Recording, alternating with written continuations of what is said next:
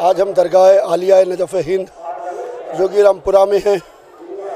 اور میں شکریہ ادا کرتا ہوں درگاہ عالیہ نجف ہند کی انتظامیہ کمیٹی اور اس کے سیکریٹری جناب سید وصال مہندی صاحب کا کہ بہترین انتظامات ہیں۔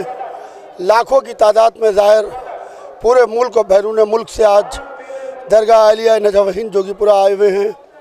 اور بہترین چار روز سے یہاں کے اوپر مجالس کا سلسلہ جاری ہے اور میرے مولا کی مدھ و ثنا ہو رہی ہے۔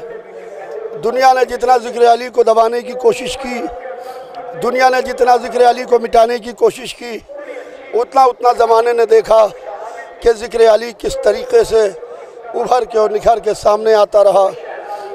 وہ لوگ جو اپنے لیے جیے، وہ مر گئے۔ وہ لوگ جو دوسروں کے لیے جیے آج بھی ان کا تذکرہ ہو رہا ہے۔ آج لوگ مولا علی کے دروازے سے مرادیں مانگ رہے ہیں۔ اگر مل نہ رہا ہوتا تو لوگ مانگ کیوں رہے ہوتے؟ اس سے پہلے بھی میں آپ سے اپیل کر چکا ہوں۔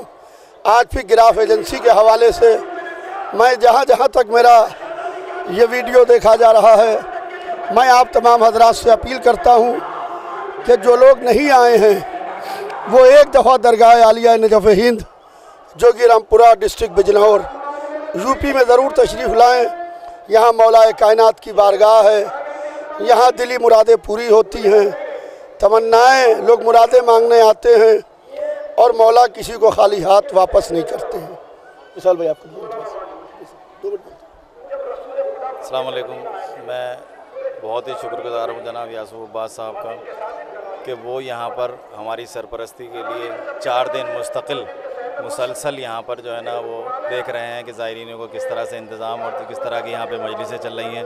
بس میں صرف اتنا ہی کہنا چاہوں گا۔